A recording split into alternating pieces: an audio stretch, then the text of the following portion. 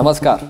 समसामयिक विषयों पर आपके पसंदीदा कार्यक्रम विशेष में आपका स्वागत है। मैं हूँ आपके साथ वैभव राज शुक्ला भारत के पूर्वोत्तर राज्य असम में दशकों से बोडो जनजाति से जुड़ा एक विवादित आंदोलन चलता रहा। इस आंदोलन की जद में हज़ारों लोगों की जान गई। दरअसल बोडो संगठन काफ़ी लंबे समय से ब्रह्मपुत्र नदी के किनारे से ऊपरी हिस्से पर एक अलग राज्य बोडोलैंड बनाने की मांग करता रहा है। बोडो आंदोलन के पीछे ये तर्क दिया जाता रहा कि उनकी ज़मीन पर दूसरे समुदायों की अनाधिकृत मौजूदगी बढ़ती जा रही है, जिसकी वजह से उनके प्रभुत्व क्षेत्र और पहचान को खतरा है। वो सुरक्षित महसूस नहीं करते। इसी वजह से इन उग्र संगठनों ने कई बार हिंसक रुख अख्तियार किया, खासकर 1980 के बाद। बोडो आंदोलन को रोकने के पहले भी कई प्रयास किए जा चुके हैं, लेकिन वो नाकाफी साबित हुए हैं। आखिरकार केंद्रीय गृह मंत्री अमित शाह की मौजूदगी में केंद्र सरकार, असम सरकार और बोडो उग्रवादियों के प्रतिनिधियों के ने असम समझौते पर हस्ताक्षर किया है। इस समझौते के साथ ही बरसों पुराने विवाद और हिंसा के खत्म होने की उम्मीद है। इस समझौते से असम की क्षेत्रीय एकता को बरकरार रखते हुए बोडो समस्या को सुलझाने का प्रयास किया गया है। तो आज विशेष में हम जानेंगे बोडो समुदाय और बोडोलैंड विवाद को, जानेंगे इसके पूरे इतिहास को और ताज़ा बोडो समझौते को भी।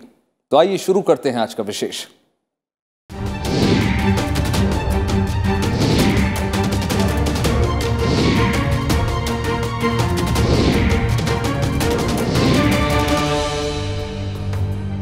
बोडो समस्या के समाधान को लेकर केंद्र सरकार ने ऐतिहासिक बोडो समझौते पर हस्ताक्षर किए हैं।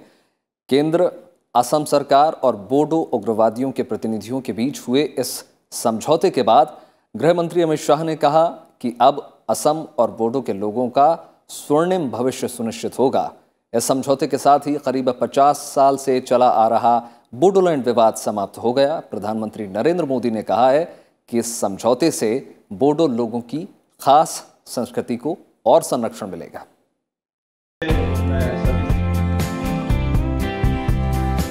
ये एक ऐतिहासिक पल था। केंद्रीय गृह मंत्री अमित शाह की मौजूदगी में 27 जनवरी को दिल्ली में 50 वर्षों से चले आ रहे बोडो मुद्दे के समाधान के लिए समझौता किया गया। बोडो समस्या के समाधान को लेकर केंद्र, असम सरकार और बोडो उग्रवादियों के प्रतिनिधियों के बीच ऐतिहासिक त्रिपक्षीय समझौते पर हस्ताक्षर किए गए। इसमें असम के प्रतिबंधित उग्रवादी गुट Bodoland National Democratic Front NDFB भी शामिल है। करार के बाद गृह मंत्री अमित शाह ने कहा कि इस समझौते से असम की अखंडता का रास्ता साफ़ हुआ है। यह समझौता सुनहरे भविष्य का दस्तावेज़ है, क्योंकि सारे बोडो संगठन समझौते में शामिल हैं। उन्होंने कहा कि इस समझौते के बाद अब असम और बोडो के लोगों का स्वर्णिम भविष्य सुनिश्चित होगा। ये एग्रीमेंट असम और बोडो क्षेत्र के सुनहरे भविष्य का दस्तावेज़ है। क्योंकि सन 1972 से आपसू द्वारा एक पृथक बोडो राज्य की मांग उठाई गई। शुरुआत में ये आंदोलन लोकतांत्रिक तरीके से चला। सतासी से 1987 से ये आंदोलन हिंसक बना। और सभी तरीके से ये पूरे क्षेत्र को अशांति से ग्रस्त कर कर आंदोलन रहा। गृह मंत्री अमित शाह ने कहा कि समझौते के बाद उत्तर पूर्व को अस्थिरता के दौर से बाहर निकाला जा सकेगा। उन्होंने आश्वासन दिया कि केंद्र सरकार बोडो लोगों से किए गए अपने सभी वायदों को समयबद्ध तरीके से पूरा करेगी। इस समझौते के तहत असम में रह रहे बोडो जनजातियों को राजनीतिक अधिकार और समुदाय के लिए आर्थिक पैकेज दिए जाने का प्रावधान है।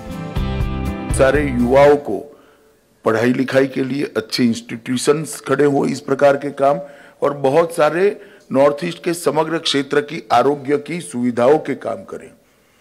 तो जो नारा दिया था प्रधानमंत्री जी ने, सबका साथ, सबका विकास, और अब इसके साथ सबका विश्वास जोड़कर ये पूरे नॉर्थ ईस्ट क्षेत्र को एक अशांति से बाहर लाने का, अस्थिरता से बाहर लाने का एक प्रयास हुआ है।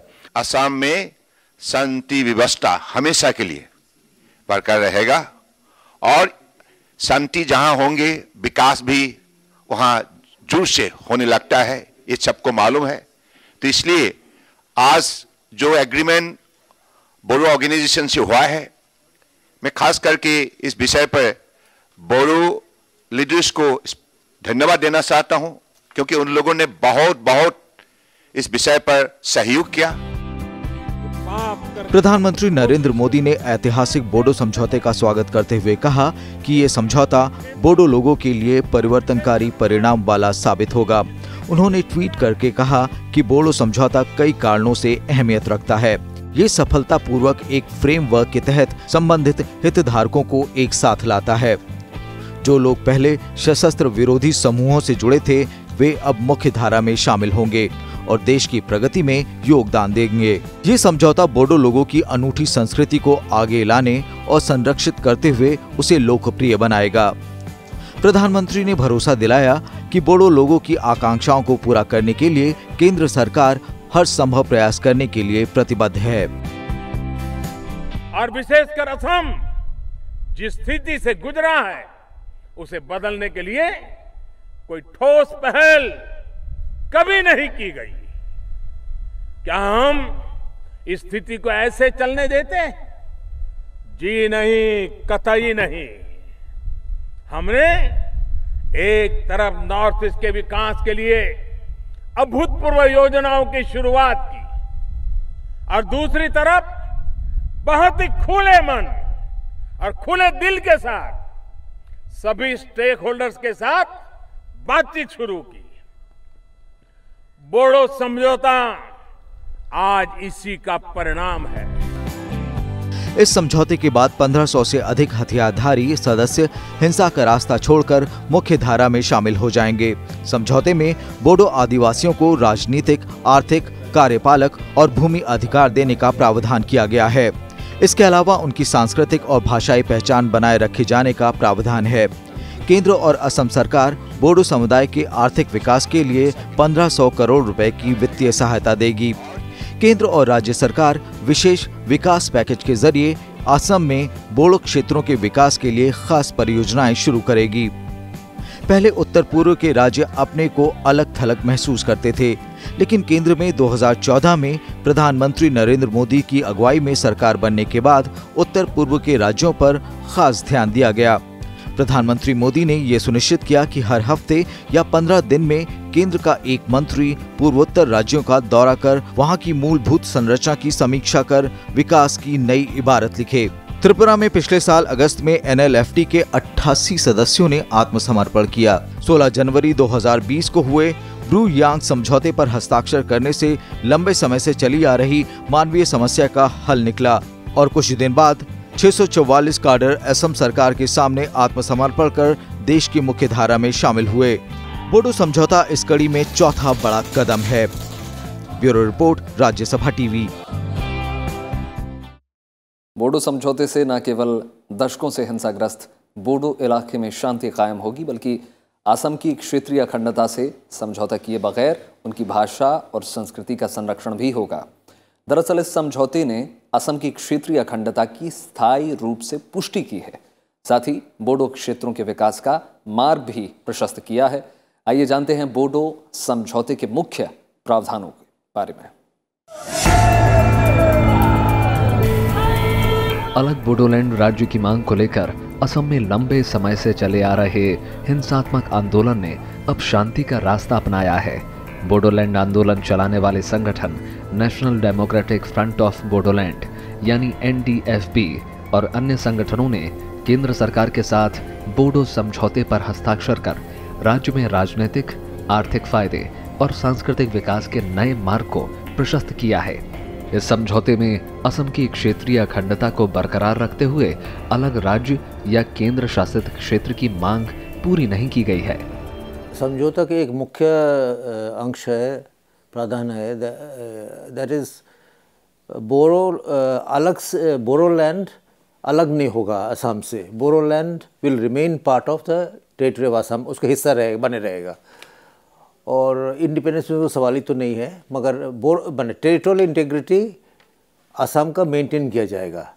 उसको खंडित नहीं किया जाएगा। और बोरोलैंड बोरो प्रेजेंट जो बीटीएडी एरिया है, बोरोलैंड ट्राइबल ऑटोनमस एरिया, उसमें चार डिस्ट्रिक्ट है। बक्सा, चिरांग, कोकराझार और उडालगुड़ी ये चारों डिस्ट्रिक्ट जैसे है, वैसे ही रहेगा। और मैंने जो मैंने जिस, जो अंदाज़ है, ये कोई डिस्ट्रिक्ट को और डिवाइड डिवाइड किया जाएगा। मतलब चार डिस्ट्रिक्ट के बजाय, करीब सात डिस्ट्रिक्ट बनेगा। बोडो समझौते में बोडो मुद्दे के समग्र समाधान का प्रावधान किया गया है। इस समझौते के बाद 1500 से ज़्यादा हथियारधारी सदस्य हिंसा का रास्ता छोड़कर मुख्य धारा में शामिल हो जाएँगे। समझौते में भारत सरकार और राज्य सरकार विशेष विकास पैकेज द्वारा 1500 करोड़ रुपए असम में बोडो क्षेत्रों के विकास के लिए देगी, जिसमें नई परियोजनाएँ शुरू करना भी शामिल है। इसके अलावा बोडो आंदोलन में मारे गए लोगों के प्रत्येक परिवार को पाँच लाख रुपए का मुआवजा दिया जाएगा। समझौते में ये प्रावधान है कि संविधान में छठी अनुसूची के सेक्शन 14 के तहत एक आयोग का गठन किया जाएगा, जो बहुसंख्यक गैर आदिवासी आबादी की बोडोलैंड टेरिटोरियल एरिया डिस्ट्रिक्ट यानी बीटीएडी से सटे गाँवों को शामिल करने और बहुसंख्यक आदिवासी आबादी की जाँच करने का काम करेगा। नए समझौते के तहत बीटीएडी का नाम बदलकर अब बोडोलैंड टेरिटोरियल रीजन यानी बीटीआर होगा। इसके साथ ही बोडोलैंड क्षेत्रीय परिषद यानी बीटीसी की शक्तियों और कार्यप्रणाली की समीक्षा भी की जाएगी। बोडो लोगों की पहचान, भाषा, शिक्षा और भूमि अधिकार से जुड़े मुद्दों का समाधान किया जाएगा। साथ ही बीटीसी से जुड़े मुद्दों के समाधान के लिए असम सरकार अलग विभाग का गठन करेगी। एनडीएफपी के सदस्यों का आत्मसमर्पण और उनके पुनर्वास को भी समझौते में शामिल किया गया है। बीटीसी के दायरे में आने वाले इलाकों के विकास के लिए असम सरकार तीन साल तक 250 करोड़ रुपए हर साल देगी। इसके अलावा समझौते के अमल के लिए केंद्रीय गृह मंत्रालय, असम सरकार बीटीसी और बोडो संगठन की साझा निगरानी कमेटी बनाई जाएगी। उसका जो सबसे इम्पोर्टेंट है, पहले तो है बोडोलैंड जो हम लोग बोडो टेरिटोरियल बिटाड एरिया कहते थे, अभी उसको एक नया नाम दिया गया है, जिसका नाम है बोटो टेरिटोरियल रीजियन तो उसके अंदर अभी उसको नया नाम से बोला गया है ऊपर से जो क्योंकि वो जो वो हमारा संविधान का जो शिफ्ट शेड्यूल है उसके अंदर में आता है। तो उसी में आ, कुछ उनको it is a state within a it is a mini state within a state तो ये है उसका संविधान। उसमें काफ़ी अभी संख्याएँ बढ़ी जाएगी। वहाँ का जो मेंबर्स होते हैं बॉडो बीटाट को एडमिनिस्ट्रेट करता है बॉडो टेरियल काउंसिल उसका भी अभी नंबर बढ़ बढ़ जाएगा। Secondly Bodo identity Bodo protection उनके बारे में भी और दिया है। एंड मोस्टली डेवलपमेंट क्योंकि गवर्नमेंट ने एक ह्यूज डेवलपमेंट पैकेज लाया है। और और एक जो सबसे बड़ी बात है रिहेबिलिटेशन ऑफ़ द जो आ, हमारे इंसर्जेंट थे अभी मुख्य धारा में वापस आए हैं उनका रिहेबिलिटेशन के बारे में भी बोला गया है। इस समझौते के तहत असम सरकार निर्धारित प्रक्रिया के अनुसार बीटीएडी के बाहर बोडो गाँवों के विकास के लिए बोडो कचारी कल्याण परिषद की स्थापना करेगी। असम सरकार बोडो भाषा को राज्य में सहयोगी आधिकारिक भाषा के रूप में अधिसूचित करेगी और बोडो माध्यम स्कूल के लिए एक अलग निदेशालय की स्थापना करेगी। वर्तमान समझौते के तहत एनडीएफपी गुट हिंसा का रास्ता छोड़ेंगे और आत्मसमर्पण करेंगे। साथ ही इस समझौते पर हस्ताक्षर करने के एक महीने के भीतर अपने सशस्त्र संगठनों को खत्म कर देंगे। भारत और असम सरकार इस संबंध में एनडीएफबीपी, एनडीएफबीआरटी और एनडीएफबीएस के लगभग 1500 से अधिक कैडरों के पुनर्वास के लिए आवश्यक उपाय भी करेगी। बड़ी संगोष्ठी की रेजोल्यूशन हो गया आज क्योंकि कॉन्फ्लिक्ट के साथ हमेशा जो नॉर्थ ईस्ट की समस्या रही है इतनी कॉन्फ्लिक्ट के कॉन्फ्लिक्ट में जुड़ा हुआ था यह हमेशा पिछड़ा हुआ था अभी पीस हो गया तो अभी जो गवर्नमेंट की सुविधाएँ है, वो और अंदर जा सकती है, लोगों के अंदर पहुँच सकती है। और क्योंकि जैसे अगर आप देखिए 2003 के बाद, आज 2005 के बाद काफ़ी प्रॉब्लम्स थी, काफ़ी एथनिक कॉन्फ्लिक्ट्स हुई तो इसीलिए लोग भी कैसे जाए, कैसे डिलीवर करें, वो एक डर रह जाता है लोगों में, कोई भी इन्वेस्ट करे। तो हम तो सोचते हैं कि after this we will expect more investment coming in more development work taking place in those remote areas और जैसे सरकार ने भी इस प्रोसेस में काफ़ी बड़ी बड़ी पैकेजेस बोला है, जैसे हेल्थ स्पोर्ट्स यूनिवर्सिटी क्योंकि नॉर्थ ईस्ट के जो युवा है दे आर वेरी स्पोर्ट्स के तरह उनका ध्यान आ रहा है।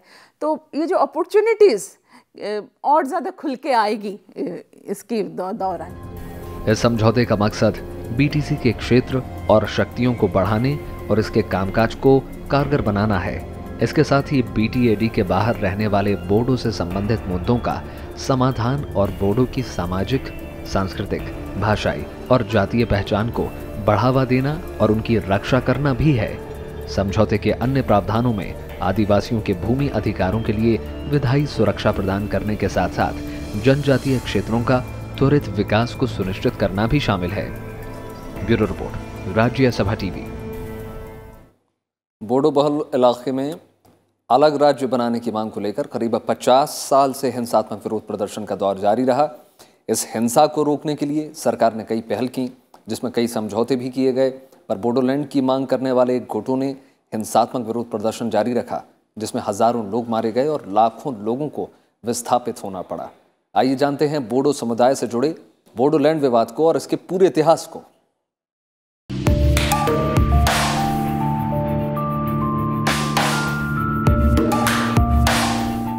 बोडो समुदाय, ब्रह्मपुत्र घाटी के उत्तरी हिस्से में बसी असम की सबसे बड़ी जनजाति ये समुदाय असम राज्य की कुल आबादी के पाँच से छह फ़ीसदी से ज़्यादा है बोडो समुदाय के लोग पूर्वोत्तर भारत के असम राज्य के मूल निवासी हैं, जो भारतीय संविधान की छठी अनुसूची में भारत की एक महत्वपूर्ण जनजाति के रूप में शामिल हैं।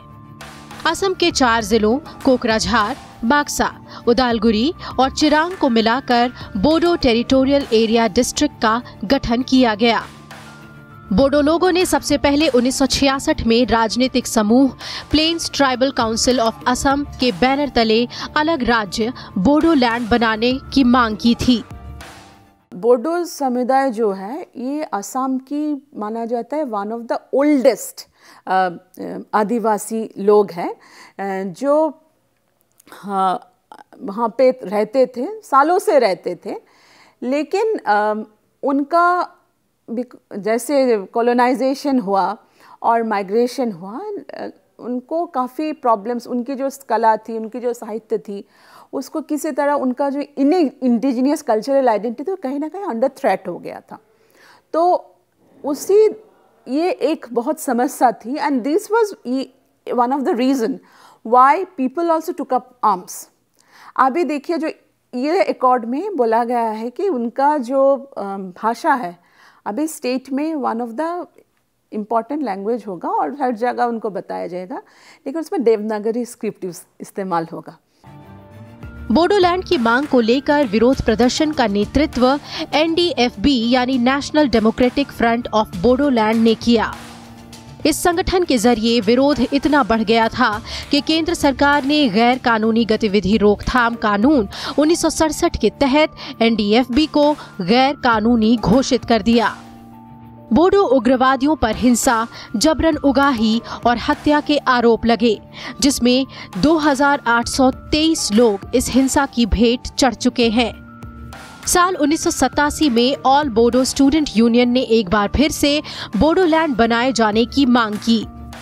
यूनियन के नेता उपेंद्र नाथ ब्रह्मा ने उस समय असम को बराबर बराबर हिस्सों में बांटने की मांग की। ये विवाद असम समझौते के बाद और भी तेज हुआ, क्योंकि असम समझौते में असम के लोगों के हितों के संरक्षण की बात कही गई थी। इसका असर ये हुआ कि बोडो लोगों ने अपनी पहचान बचाने के लिए एक आंदोलन शुरू कर दिया। दिसंबर 2014 में अलगाववादियों ने कोकराझार और सोनितपुर में 30 लोगों की हत्या कर दी। इससे पहले 2012 में बोडो मुस्लिम दंगों में सैकड़ों लोगों की मौत हो गई थी और पाँच लाख लोग विस्थापित हुए थे। बोडोलैंड की जो समस्या की बात करें, वो शुरू होता है 1920 से बेसिकली तो एडुकेटेड बोडोलैंड के लोग पहले बार साइमन कमीशन के पास गए थे उनकी मांगी को लेके क्योंकि उन लोग तभी से प्रॉब्लम फेस कर रहे थे। उन, उनका जो लैंड था उनका एनक्रोचमेंट्स हो रहा था। इसके बाद 1985 में जब अल्फ़ा आई उल्फ़ा का नाइनटीन एट्टीज़ के दशक में जब उल्फ़ा आई तभी ये जो होल बॉडो इंसर्जेंसी है इट टर्न नॉन वायलेंट और तब एक ऑर्गेनाइजेशन निकल के आया बॉर्डर सिक्योरिटी फोर्स जिसको 1994 में हम लोग एन के नाम पे पता चला। पिछले 27 सालों के दौरान 2020 में हुआ समझौता, अब तक का तीसरा बोडो समझौता है। पहला बोडो समझौता ऑल बोडो स्टूडेंट्स यूनियन के साथ उन्नीस सौ तिरानवे में हुआ था। इस समझौते के तहत बोडोलैंड स्वायत्त परिषद का गठन हुआ था, जिसके पास सीमित राजनीतिक अधिकार थे। फरवरी 2003 में दूसरा समझौता बोडो लिबरेशन टाइगर्स के साथ हुआ था, जिसके अंतर्गत बोडोलैंड क्षेत्रीय परिषद गठित हुई थी। और इसके अंतर्गत कोकराझार, चिरंग, बस्का और उदलगुड़ी शामिल थे। बोडो क्षेत्रीय परिषद का गठन संविधान की छठी अनुसूची के अंतर्गत किया गया था। लेकिन 1993 में ऑलरेडी एक एग्रीमेंट हो चुका था। बट वो ज़्यादा एक्टिव नहीं हुई, वो सब सक्सेसफुल नहीं हो पाई। और हम देखते हैं, बॉडो फिर इंसर्जेंसी की ओर चले जाते हैं। और फिर हम लोग जो मेजर निकल के आता है that was BLT and Bodo Liberation Tigers but 2003 में दे साइन एन एग्रीमेंट और इसके थ्रू काफ़ी शांति वापस आती है। लेकिन फिर भी प्रॉब्लम्स रह जाती है क्योंकि काफ़ी गुटे निकल के हो चुका होता है। एंड 2005 में एनडीएफ भी एक्चुअली एक सीजफायर साइन करती है।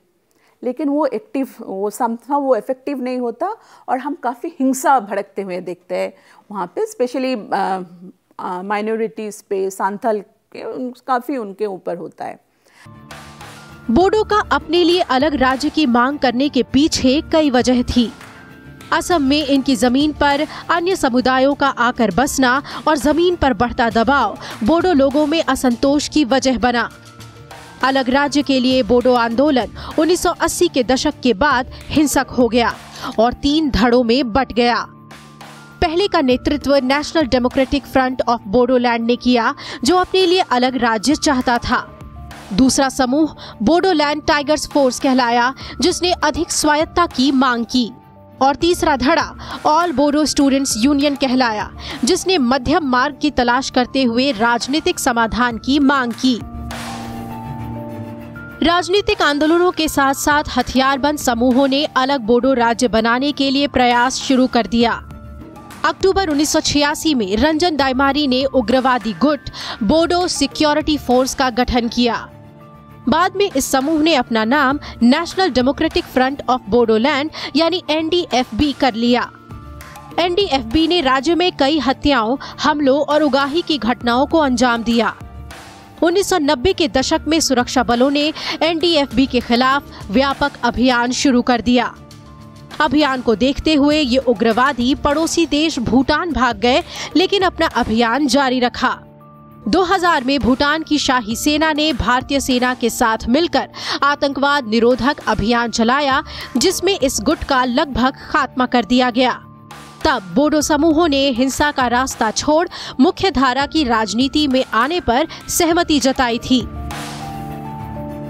एनडीएफबी के प्रमुख रंजन दायमारी ने हिंसक आंदोलन को ज़िंदा रखते हुए 2008 में असम के कई हिस्सों में बम हमले किए, जिसमें 90 लोगों की मौत हो गई। रंजन दिमारी को हमले के लिए दोषी ठहराया गया। इन विस्फोटों के बाद एनडीएफबी दो भागों में बट गई। एनडीएफबी पी का नेतृत्व गोविंदा बासु मतारी और एनडीएफबी आर का नेतृत्व रंजन ने किया। 2009 में एनडीएफबी ने केंद्र सरकार के साथ बातचीत शुरू की और 2010 में रंजन दिमारी को बांग्लादेश ने अरेस्ट कर भारत को सौंप दिया। 2013 में रंजन को जमानत मिल गई, जिसके बाद रंजन गुट भी एनडीएफबी गुट के साथ, केंद्र के साथ बातचीत में शामिल हो गया। एनडीएफबी के बटे हुए दो गुटों के साथ केंद्र सरकार के साथ बातचीत को आगे बढ़ाना इतना आसान नहीं था। 2012 में इंगती कठार सोंग बिजीत ने एनडीएफबी आर से खुद को अलग कर लिया और एनडीएफबी एस बनाया। इंगती के गुट पर दिसंबर 2014 में छियासठ आदिवासियों की हत्या के आरोप लगे। ये वो गुट था जो बातचीत के खिलाफ था। 2015 में इंगती की जगह पर बी साउ रैगवारा ने गुट की कमान संभाली। बाद में इंगती ने एनडीएफबीएस से अलग होकर अपना एक अलग गुट बना लिया। इस तरह पूरा गुट चार भागों में बट गया, जो अब समझौते में शामिल हुआ है। Bureau report, Rajya Sabha TV.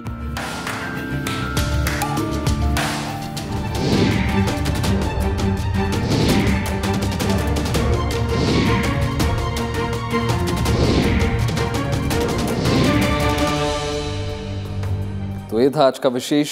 उम्मीद है आपको विशेष का ये अंक पसंद आया होगा। आप ये हमारा कार्यक्रम यूट्यूब पर भी देख सकते हैं, जहाँ पर हमें आपकी प्रतिक्रियाओं और सुझावों का हमेशा इंतज़ार रहता है। बाकी देश और दुनिया की तमाम बड़ी खबरों के लिए जुड़े रहिए राज्य सभा टेलीविज़न के साथ। नमस्कार।